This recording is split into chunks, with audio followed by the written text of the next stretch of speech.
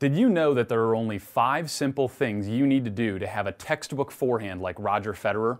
If you click the link in the description of this video and visit our website, you'll learn why Federer's forehand is so good and how you can copy his technique. And this entire 45 minute lesson is 100% free. Join the thousands who have already learned what these five simple things are and take control of your forehand today.